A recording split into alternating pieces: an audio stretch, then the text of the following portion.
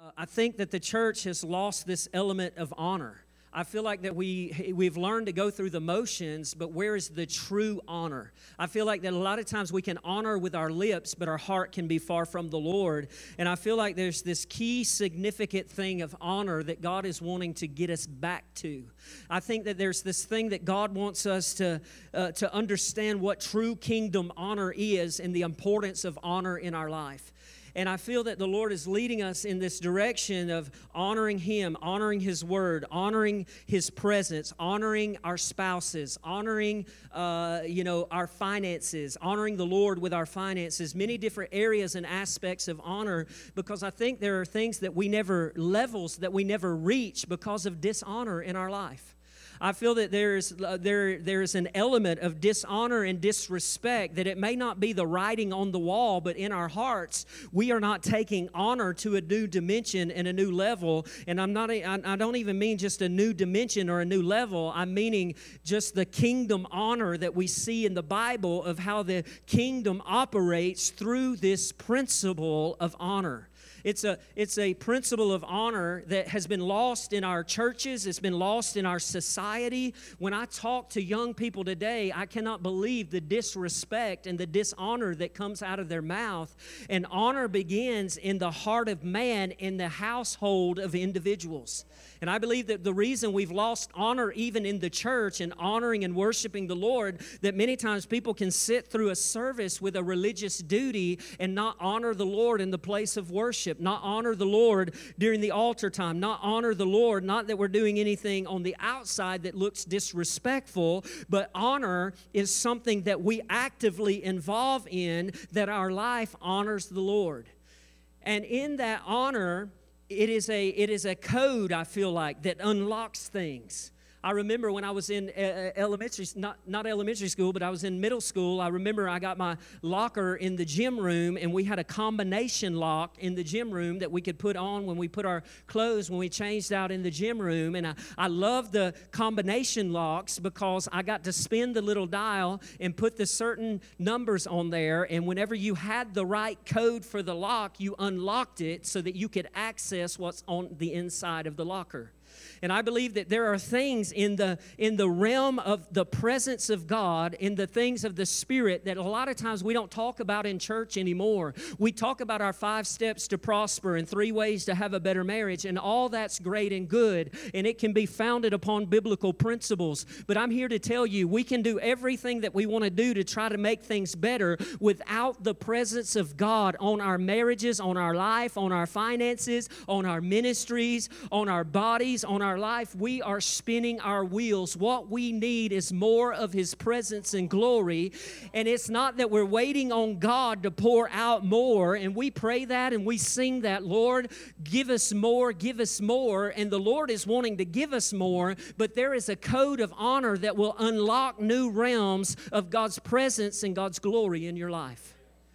It's honoring the Lord above anything and all things. It's honoring Him not with just our lips, it's honoring Him with our actions. It's honoring Him in every area of our life. It's making a conscious decision that when I get up every day, I'm not just going to walk through the motions of checking off my Bible reading. I'm going to honor the Lord with how I read my Bible. I'm going to honor the Lord with how I interact with other people. I'm going to honor the Lord in my business affairs. I'm going to honor the Lord with my. I'm going to honor the Lord with what I do in life because when, when you begin to walk in this code, in this principle of honor, it will begin to unlock things in your life that, that, that, that you could never unlock on your own.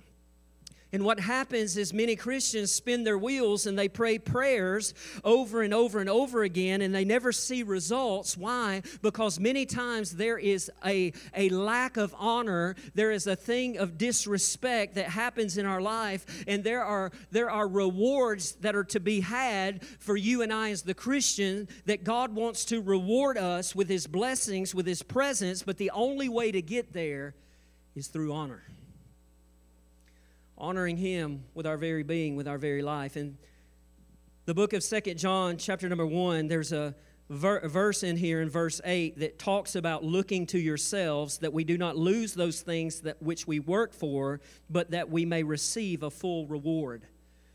And in this, in this, uh, in, in this epistle here in Second John, he is talking about walking in Christ's commandments, walking in the principles of God, walking in the Word of God.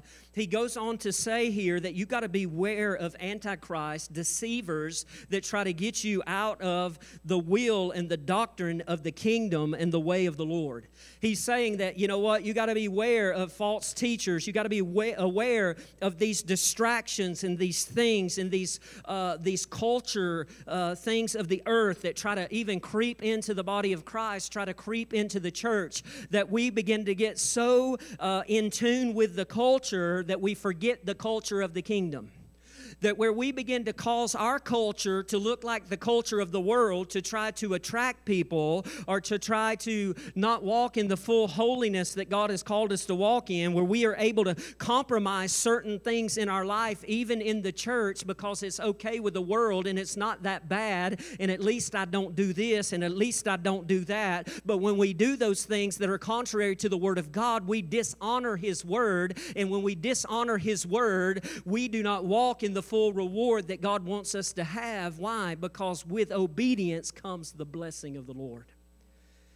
And the culture of this world, the culture of this life, then, and I believe that in this hour that we're in, even coming through shutdowns with Corona and all this kind of thing, God is God is eh, eh, has shaken some things, and He's raising up a church that's not about the things of the world anymore. That we are lovers of His presence, and God is looking for people that will pursue Him and honor Him no matter the cost, no matter the price.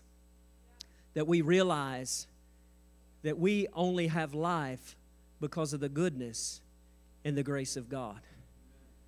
And he says in John here, uh, in the epistle of John, he said, Beware of these deceivers and these, these things that, that come in. He said, You got to look to yourself. Because a lot of times, honor is a hard thing for us because people seem so dishonorable. Come on, how many know what I'm talking about? We look at everybody else and we say, well, I ain't going to honor him, and I ain't going to honor this, and I'm not going to honor that, and I'm not going to on and on and on. And, and, and we look at what everybody else is doing and we use it as an excuse not to honor the word of the Lord. Sometimes we see our enemies, and the Bible says that we are to pray for our enemies. We're to bless those who, who, who, who do wrong things to us. But sometimes it's hard to walk in that level of honoring the Word and doing what the Word says. It doesn't mean that you're buddies with that person, it doesn't mean you don't speak truth to that person. But what it means is your heart is so pure that you're going to honor the Word of the Lord and you're going to pray and bless your enemies out of a pure heart. And that is honoring the Word of the Lord, and it unlocks unlocks things. It unlocks things in your life, it unlocks things in their life. And what it does, it causes the destruction of the enemy and the plan and the purpose of the enemy to begin to diminish and the plan of God to begin to spring forth in your life. Honor code unlocking things. There are things that seem locked up in our life, but they're really not locked up. They're not locked up. They're freely there for us when we walk in the principle of God's word of honor. He says here, You are to look to yourselves.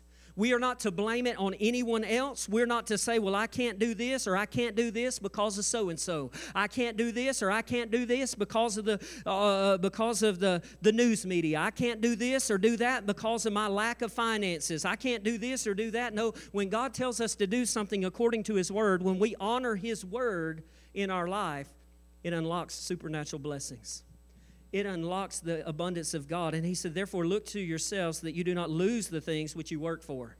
Look to yourself because the very things that you work for can be lost.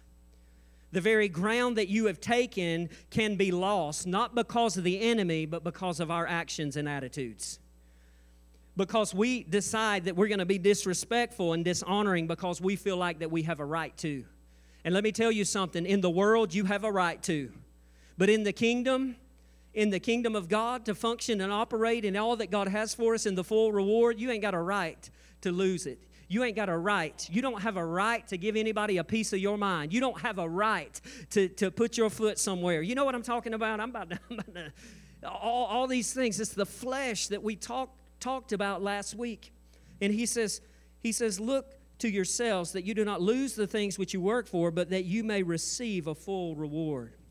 There's something that is so important in the life of the church today that seems missing, and it's this element of honor. I believe that with all of my heart. I can't speak for everybody, but I believe that as a whole in our society, we see it. And there's a code of honor. Honor unlocks the kingdom blessings, it unlocks the kingdom uh, uh, uh rewards, it unlocks the kingdom benefits that we are to walk in. Dishonor hinders. Dishonor hinders the benefits and the blessings of God in our life.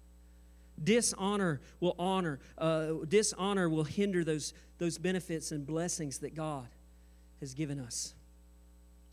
I remember times in my life where I felt overwhelmed and overcome by the enemy. I remember as being a young pastor, I was a youth pastor, and I felt an attack on my body one day. I went to the office that I was working at, the church that I was working at, and I felt like something crazy was going on in, in, in my body. And and listen, if you need to call 911, call 911. I'm not saying don't call 911. I'm saying be in such tune with the Lord that you hear his voice because sometimes 911 can't help you. You know, I, I, told you this last week. I said, listen, hey, I'm not against doctors and I'm not against medication. But you know what I found out? We found out in my grandmother's life this week that she's the last couple of years she's she's had uh, swelling in her feet and her ankles that really really hurt bad. Can't get any relief from it.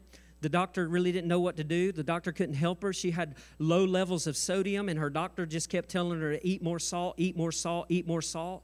And we just found out that the medication she was on was causing all these problems. She got off the medication. She has no swelling in her ankles, no swelling in her feet. Her sodium levels have returned to normal. Why? Because thank God for medication, but listen, sometimes even when you call 911, they can't help you. And I remember as a young pastor being in my office one morning, and something came over my life, and uh, and the physical the physical stuff that I was feeling, I felt was an attack on my life. I thought, my gosh, am I having a heart attack? What's going on? And I thought, do I need to call 911? And the Spirit of the Lord quickened me and said, open your Bible to Psalms 91 and begin to declare the word of the Lord. And I stood there and I began to declare the word of the Lord, and I began to speak the word of the Lord over my body, and I was well, I was fighting through something in in my life, and uh, you know, uh, it was an attack on my life, but you know what? I honored the word of the Lord in that moment instead of going what my feelings and flesh told me to do.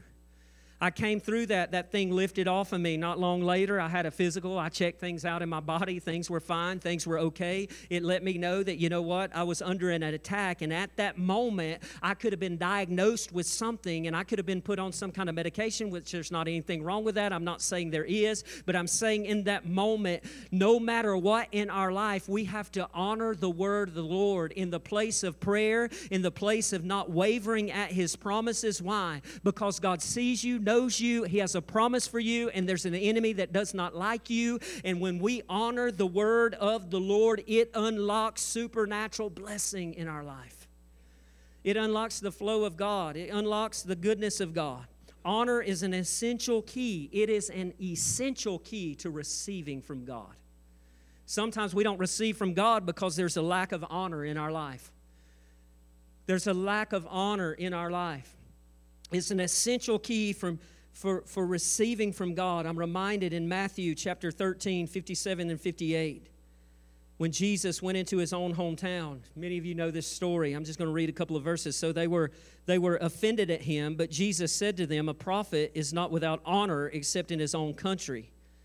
He's not without honor except in his own country. They were offended at Jesus. They, did, they were not honoring him. And he and he did not do many mighty works there because of what? Their unbelief. Unbelief led to a place of dishonor. I want you to catch that for a minute. Unbelief led to a place of dishonor. When you don't believe the word of the Lord, you dishonor the Lord because you don't believe his word. When we put our feelings above the word of the Lord, when we hear sermons about worship but we can't worship and we don't believe that's possible, we dishonor the Lord and therefore we never get the breakthrough in our life. When we hear words like we are to give thanks always, come into his presence with thanksgiving and his courts with praise, and we don't believe if we thank him and if we praise him that we're really going to get anything, that is unbelief that causes us not to walk in obedience to the word of the Lord. And when we do that, that is dishonoring and disrespecting the word of God. Am I in the right place? Jesus said, I couldn't do many mighty works there because of their unbelief. It led to this place of no honor. Honor is this, it's a high esteem, it's great respect. Honor creates life giving and life promoting relationships. It creates life giving and life promoting relationships. We can disagree but still have honor in a relationship. That's what I see in the church today.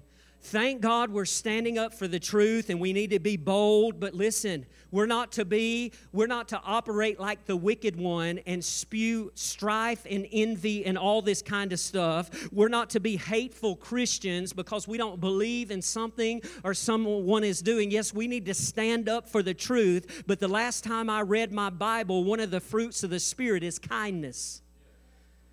And when we are not kind at delivering the truth, you can still be bold. You can still, uh, you can still be in that place of the anointing of the Lord that may not that, that may not seem like it's very friendly, but there is a kindness from the fruit of the Spirit that you are not just saying things that bring disrespect and dishonor. And so many Christians today are operating in this thing of being so disrespectful. Whether you agree with the president or not, there are some things that make me cringe when I see them on Facebook. Why? Because that is a position that is in our land, and that person is there. Whether you agree or disagree with them, you can stand up for the truth, but to bash someone and call them certain names is dishonor and disrespect. And some people will say, well, he's not honorable. Well, you're not honoring the man, you're honoring honoring the position that they are in because it's a principle from the Word of God. And then we wonder why things are happening in our life or not happening in our life. And it's because we've got to get back to the pureness of operating in the Word of the Lord and operating in the principles of the Word of God. That's not popular. That's, that's not popular because we, we, we have every we have we have so much division in the earth. We have so much division in the earth, and what we're to do is not promote division, we're to promote truth. We're to promote it under the influence and the inspiration of the Holy Spirit. We're to stand up for what is right and not agree with principles that are contrary to the Word of God. That is so disgraceful and dishonoring, and it's easy sometimes to call them a bad name because that's how we feel. You know what I'm talking about? It's easy to say, you know what? I'm going to cut you down a notch with my words. It's easy to do that, but it is the right thing to do. Is it really the right thing to do in our life? Honor is this high esteem. It creates life giving and life promoting relationships. Honor is what causes you to access the kingdom benefits, causes you to be promoted in the things of the kingdom. The fruit of an honor, honor culture, when you create an honor culture in your home, in your life, in your family, with your children, when you create an honor culture, it creates and causes God to flow in our life, in our home, in our communities. See, we're trying to teach our children right now just because you disagree with a teacher or an authority, it doesn't give you a right to dishonor and disrespect them even if they are out of line, you stand your ground for truth, but you don't get off in error by being disrespectful and dishonoring. It's amazing how we can be so disrespectful even in our homes. It's amazing how we can be so even disrespectful to our spouses sometimes. We all got the flesh now. Don't get me wrong. We all mess up and make mistakes. And we have to repent of those things.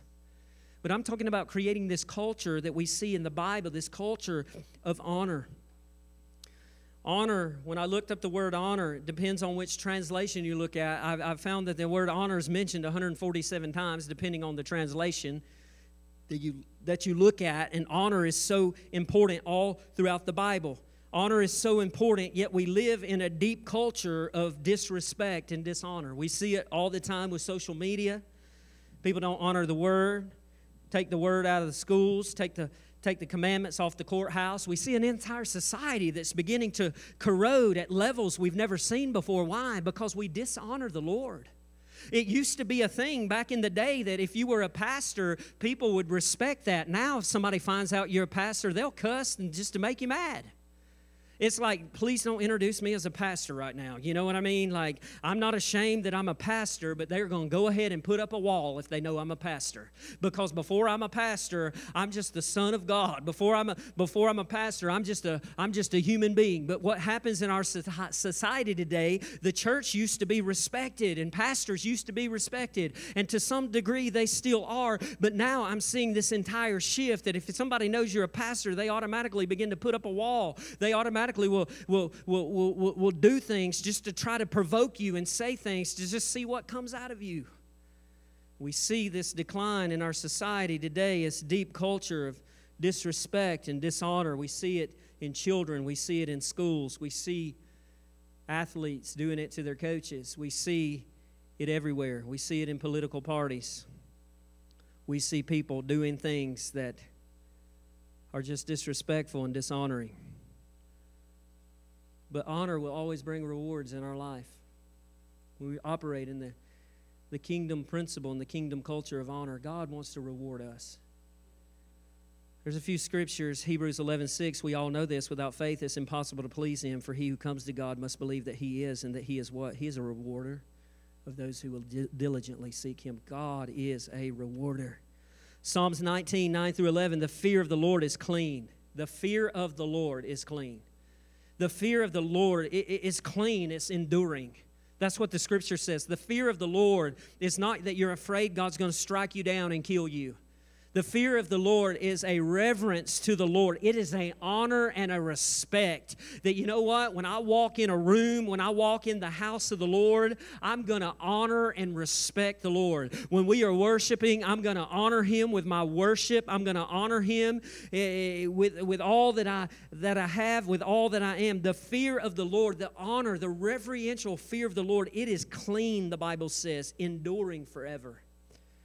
The judgments of the Lord are true and righteous altogether, more to be desired than any gold, than much fine gold, sweeter also than honey and the honeycomb.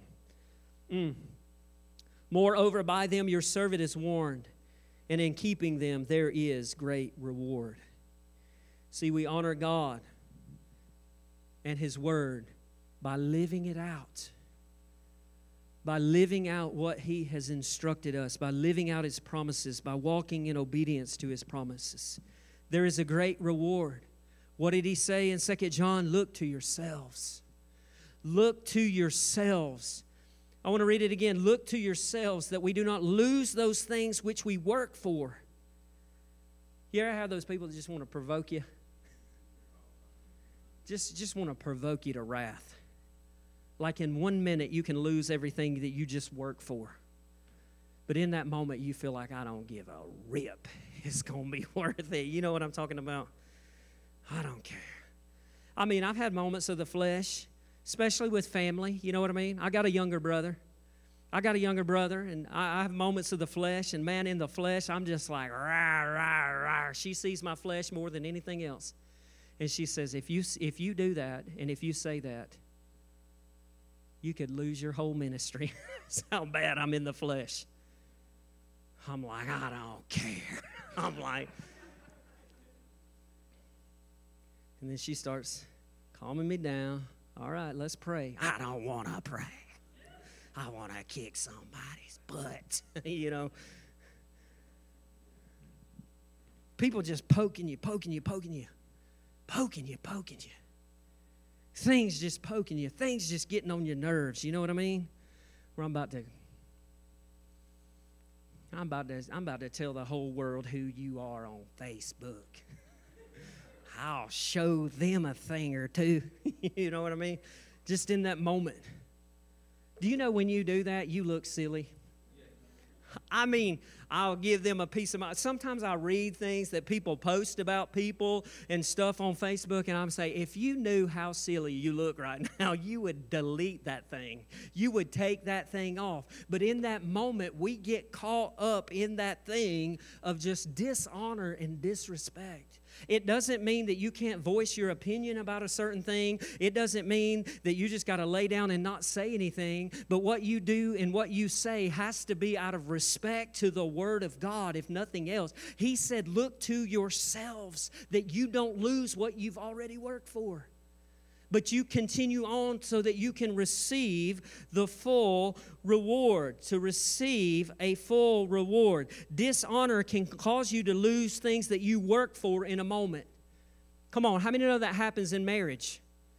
You can, you can be working on your marriage, working on your marriage, growing in your marriage, and you dishonor your vows with unfaithfulness, and you have just lost everything that you've built. And sometimes you got to either rebuild it or you got to start your life over or this or that. Why? Because you dishonored your vows. I know that hits home sometimes to people, but you think about it in ministry when people dishonor the word of the Lord and they get a little flirty when they're married with someone else, what does it do? It discounts them from everything that they've worked for. Why? Because they dishonored the word of the Lord. You take ministers that, that, that, that take money and that are unfaithful and all those kind of things. What does that do? It causes them to lose the ground and the momentum that they've already walked in. Why? Because they have dishonored their commitment and their covenant with the Lord. How many know that happens in jobs? In a moment when you dishonor and disrespect a boss or a manager, you can lose the very promotion that you were working for. Why? Because the devil wants you, wants you to get in a place that you lose your cool so that you can be dishonor. You can dishonor and you can disrespect. And sometimes the jerk deserved it come on now am i in the right place? That's just how it is. Like you're just being a jerk right now and i'm just going to tell you like it is. Sometimes you want to do that. Listen the holy spirit will not only give you words to speak he will tell you when to hush your mouth. Jesus went before people and there were times that he did not even say a word. He did not even say a word. Why? Because he was not going to do anything to dishonor his father. He was not going to do anything, even though even though the enemy came to him after he had been in the desert for 40 days and fasting, and the enemy came to him to tempt him, what did he do? He spoke the word. He honored the word of the Lord when he could have went off on that devil. He could have did anything that he wanted to do. When he was in the garden and he was sweating drops of blood, you know what he did? He honored the Lord. When they ridiculed him, when they made fun of him, he, he honored his Father. That's what I want to say. He is the Lord God Almighty, Father, Son, Holy Spirit. They're three in one. But you know, he, he honored his Father, he honored the Word of God. And because of his honor, we're here today. Look to yourselves, the scripture says. Look to yourselves. Jobs and careers, in a moment, dishonor your boss and lose it all. See, we're to operate in this honor principle, and it's not always easy. But it's attainable. You know why? Because His grace is sufficient. His grace is sufficient. And we got to get our minds right. We got to get our culture right in our minds. We got to get a culture of honor in our heart. That is our heart to, to, to walk in honor to the word, pleasing unto the Lord. We're to operate in this honor, honor principle in all relationships in every area of life. And that's why you pray that God brings the right people and removes the wrong people. Not every person is supposed to be a part of your life. It doesn't mean you have to be friends with people. It doesn't mean that people that are just walking in evil and evilness and everything else and, and, and all these kind of things, it doesn't mean that you're buddy buddy with those people and you just lavish all this stuff on them. It's that you honor the word of the Lord. Whatever He says to do, you do it. And it unlocks things in our life. I'm reminded in 1 Samuel 2, uh, 2 1 Samuel chapter 2 verse 30, the scripture tells us the Lord said those that honor him, he will honor them. If we honor him, he will honor us. Proverbs 3 and 9 says, Honor the Lord with your possessions. We might talk about that later. Honor the Lord with your possessions and with the first fruits of all your increase. 1 Peter 2 and 17 says, Honor all people. Love the brotherhood. Fear God. Honor the king. Honor, honor. Somebody shout it with me honor. 1 Peter chapter 3 verse 7 husbands likewise dwell with them with understanding. Talking about your wives dwell with them with understanding. That's a whole nother sermon. We're going to talk about that later maybe. Dwell with them with understanding giving honor to the wife as the weaker vessel. That doesn't mean that just means you probably can bench press more than she can. A lot of people say that woman's just weak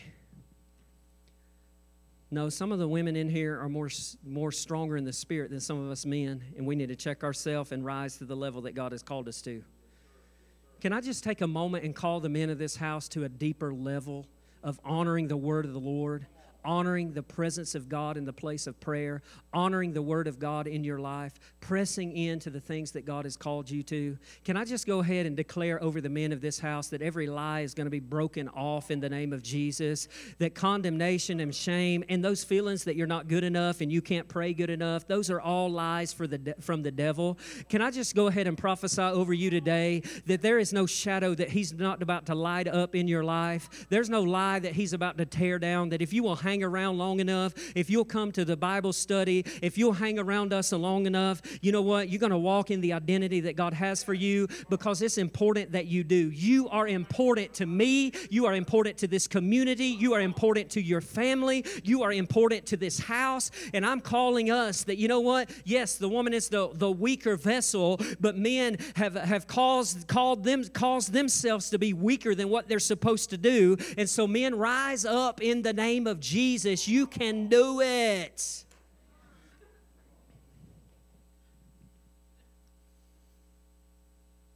Well, I don't know if I can come to Bible study. Pastor might ask me to pray. I'm going to ask you to pray because there's a prayer on the inside of you. If that makes you nervous, I'm going to come to your house and have Bible study at your house. I ain't leaving you behind. I'm going to drag you with me. I'm going to pull you with me. I'm going to keep praying for you. I'm going to keep prophesying over you. I'm going to keep calling out the destiny that's on the inside of you. You know why? Because you are important. I can't pastor this church by myself. I need strong men holding my arms up. Have you ever heard about Moses? He had to have people to hold his arms up. And I think I'm thankful that it's not just the men. I know there's women in this house that are holding my arms up. I know there's a group of people that comes out every Tuesday night holding my arms up. I am grateful for the people that maybe can't get here, but in the place of prayer, you're holding my arms up. But you know what? I'm calling more men to come up in the destiny and the that God has for you. I'm not looking for you to sign up for a ministry. I'm not looking for you to start this ministry and do this and do that. I'm looking for you to be who you're called to be more than a conqueror. Because that's who you are. Oh, but I, I can't read the word today, man. I'm too busy. I got to make ends meet and I got to get up and go to work and I got to do this and I got to do that. Let me tell you something. If you will start honoring the word of God, He will start doing things you can't do on your own. He'll start opening up doors so you have a little bit more time at home. He'll start doing things that you've been striving to do all these years. He'll, he'll bring unexpected blessings in your life. Why? Because you're honoring the word of the Lord. You are honoring your Father as a son of the living God. I was trying to read the scripture. 1 Peter chapter 3, verse number 7. Husbands, likewise, dwell with them with understanding, giving honor to the wife. Honor your wife. Man, she's getting on my nerves. Honor her anyway.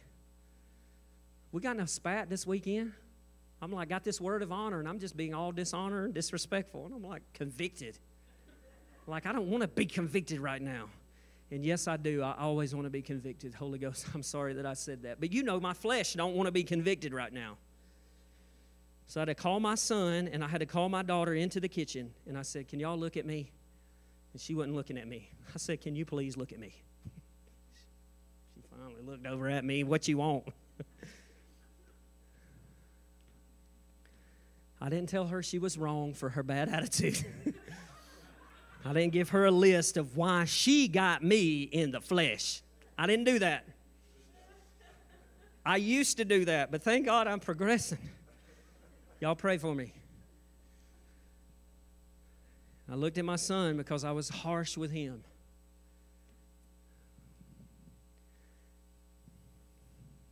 And I said, Listen, Micah, the way I talked to your mother was wrong. And daddy shouldn't have did that. And I had a moment and honey, I apologize. I'm sorry. That's not my heart. Will you forgive me? Yeah. That's all I needed. Okay, I got that. And I said, Micah, I'm sorry for the way I talked to you. I know you were just trying to help, but I was just agitated. It's okay. Kids are so forgiving. My wife is really so forgiving too. That's why we're about 19 years into this thing. Because she's so forgiving. I'm pretty forgiving too, but.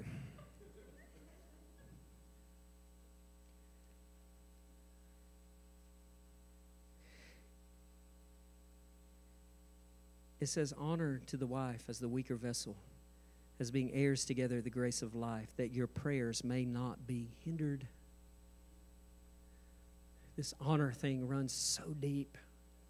It runs so deep, and I won't have time to talk about it today. Even the children, Ephesians chapter 6, verse 1 through 3 Children, obey your parents in the Lord, for this is right. Honor your father and your mother. Honor your father and your mother. I got any teenagers in here? Honor your youth pastors.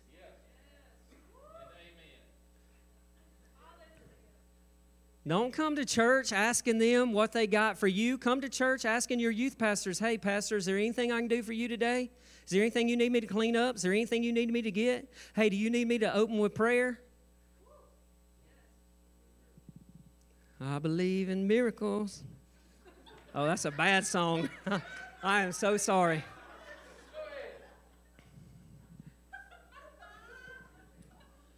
That's a bad song, isn't it? Is that a bad song? Somebody sent me a video the other day, had a bad song in it, and I'm like, got that bad song in my head. I'm having to sing, This little light of mine, I'm gonna let it shine. This little light of mine. And I'm like, My light isn't little. This light of mine is Jesus. He is a flaming fire. Who wrote this song, This Little Light of Mine? Anyway, I believe in miracles, though. Hey, y'all, we, we leaving for vacation right as I say amen. I'm about to just go ahead and say amen. If I don't see you, we're jumping in the truck. We're headed to the beach. Pray for us this week. My daughter's on the back row. She was all day yesterday, Daddy. Can you go short today? I said, I am. I said, I am not honoring you, girl. I'm honoring the word of the Lord. So, however long it takes, it takes. So, children, honor your father. Honor your father and your mother. Because honestly, honor begins in the home. It really begins in the home. And it's hard for us to honor in our culture because there are so many dishonorable things that are going on. It's easy for the church to get caught up in this bickering back and forth, even on Facebook especially with political things and uh, denominational things, and the list goes on and on. It's not just one thing, but we get caught up in this just filth coming out of our mouth and disrespect and dishonor. Listen, don't hear me wrong. We got to speak the truth and stand up. We got to we got to say, "Hey, that was wrong and this is wrong," but we got to do it in a way that honors the Lord because a lot of people look at the church today and they don't see the characteristics of God. They don't see the characteristics of the kingdom. They see self-righteous religion religious people just trying to push their own agenda as well. And it's the love of God that leads men to repentance. And love is not siding in and being silent, it is speaking the truth, but it's speaking the truth in a way that's honorable to the King of Kings and the Lord of Lords. Because even when Jesus encountered people, even people that were in sexual perversion, even harlots, he gave them a choice. He said, This is the way, this is the life. You choose it. Even when he, he met people at wells that, that, that were in adulterous relationships, he, he spoke the truth and talked about him being the living water and gave them a choice. I know when he came in, he well, Pastor, he turned over some tables, man. He built some whips. He was whipping people and everything else. Yes, I know that he did that. He was he was he was fed up with the religious demons in the community. He was fed up with that, and he turned the tables over. Why? Because his house was to be a house of prayer, but they made it a den of thieves with all their all their stuff they were trying to do and sell. But there's this level of honor and it's so hard, even in the church today, because we look at leaders, we look at, we look at the media, we look at bosses and managers, political leaders, and it's easy to dishonor and disrespect. And that gets, that gets off in our children, that gets off in our marriages, that gets into our culture. And we make excuses why we can't honor. But it's really not about the person, it's about the position. And we, can't, we say we can't honor because of this and that. And honor has nothing to do with anybody else, it has everything to do with us. Do you know what a lot of times we do in our society today? You say, Well, if you respect me, then I'll respect you. Oh, if you'll honor me, honor is not given, it's, it's, it's earned. You know, we, we, we, we make people earn certain things, but there's certain positions, there's certain things of honor is not about everybody else. Honor is about honoring God's word. It has nothing to do with what the society is doing, it has nothing to do with what anybody else is doing. It's about us honoring the word of the Lord. It's about uh, uh, us honoring, praying for those who are in authority. What if we prayed for those in authority as much as we talked about those that are in authority? I'm just saying. I'm just saying. If we honored the Word of God and we really prayed for those in authority as much as we, not anybody in here, I'm just speaking in general. If, if, if, if, if, we, if we did that, what if we honored the Word of the Lord in our marriages as much as we complained about our marriages? What if we just got back to honoring the word of the Lord? And, and, and honor has everything to do with us and nothing to do with anybody else. Yet there's this biblical principle of honor that if we embrace it and we create a culture which we, in our life we begin to unlock the supernatural flow and the blessings of God. So we are to never dishonor with our words, with our actions, and with our attitudes. I wish I could say that I'm perfect in this area, but I'm not. I told you I had to repent just yesterday. But we are to press on. We got to be careful what comes out of our mouth. We got to be careful with our actions. We got to be careful with our attitudes. But what we like to do, we usually like to repay evil with evil. And that ought not to be so. It's the human nature, it's the fleshly way. And I want to close with this. Somebody shout, close. I want to close with this. There's a story about Hannah in the Bible. It's in 1 Samuel chapter 1. Hannah was married to a guy named Elkanah. And not only was Hannah married to Elkanah, many of us know the story of Hannah, Hannah having a baby and everything else, but what happened is just amazing right before she got her miracle baby. What happens in this story, we like to talk about how she prayed and she made a vow with God, and that's so important, and we can preach on that. But a lot of times we miss what happened before that part and before that step. And Hannah was married to Elkanah. We know that she couldn't, she wasn't having any uh, babies, but uh, Elkanah was also married to Penina. I think that's how you say her name, Peniah, Penina, uh, married to Penina, and Penina had many babies. And in that culture, in that day, uh, it was a big thing to give your husband babies, and Hannah wasn't able to do that. And the Bible tells us in 1 Samuel, for the sake of time, I'm not going to read it. It's chapter number one. You can go back and read it. I'm going to pull out a couple of verses. The Bible tells us that, that, that, that, that, that she honored in a place that she was even insulted she honored by not speaking out in the flesh and her mind. I don't know what was going on even in her life, but Elkanah had two wives, Hannah and uh, uh, Penina, in her life, and Hannah could not give give birth to children, and this was really a big deal. But the Bible says uh, uh, Penina, she would taunt Hannah. She would, she would taunt her. The scripture actually says that. She would taunt her. She would make fun of her. Like, oh, I'm the trophy wife. I gave him all the babies. I don't know if that's fun or not, but like having babies is crazy. No, it's not. It's the birth of Jesus. You know, where am I going with this? I'm coming off the stage. I'm going to sit down and give you the microphone. I think I'm ready for vacation. All right, let me start over. Can you rewind that tape? Just rewind it. Just cut it off. No, I'm just kidding. Giving birth is a beautiful thing, it's the creation of God. But anyway, Penina, Penina, yes, was given all these babies, and she was taunting Hannah and Hannah went on a fast to cry out to God. She made a vow to the Lord. She wanted a baby. She cried out to the Lord. She went on this fast. Hannah fasted and she cried out to God. Now, I don't know about you, but if, if, if Penina was popping off the mouth like that, you know what I'm talking about? He'd be like, you know what? I'm going to get her. I'm going to put something in her food and she gonna have to go to the bathroom or something, you know. It's really time for vacation. I gotta get out of here. Where am I going with that? But anyway, in the natural, you would be like, hey. But Hannah sought the Lord. She honored the word of the Lord. Eli the priest saw Hannah crying out to God, thought she was drunk. Thought she was drunk. And Eli the priest came and said, What are you doing?